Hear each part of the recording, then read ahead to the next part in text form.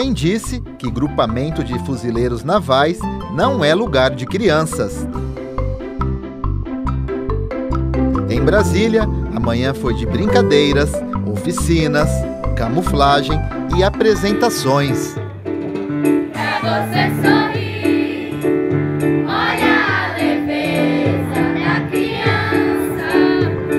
Eu quero fazer você de barco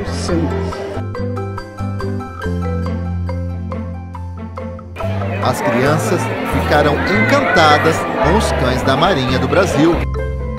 Mariana adora animais, adora cachorro, adora. É o segundo evento que ela vem da Marinha, ela amou. Miguel realizou o sonho e se vestiu como soldado polícia do Corpo de Fuzileiros Navais. Eu vim com a minha mãe, eu nunca achei que eu ia como esse. Eu estou muito emocionado. O evento aberto à comunidade contou com a participação de cerca de 600 pessoas.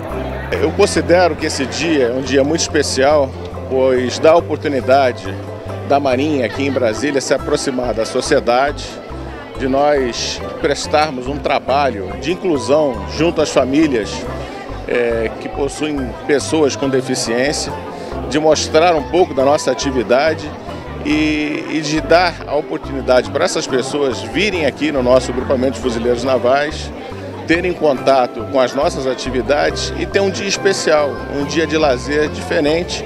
Eu acho que isso é o mais importante de tudo.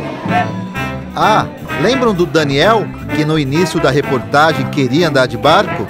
Olha ele, todo equipado, se preparando para um passeio. Viva! Quando elas dão aquele sorriso, diversão, alegria, gritos, felicidade, pra gente está sendo muito legal. Elas agradecem sempre e está sendo uma experiência única mesmo esse momento aqui.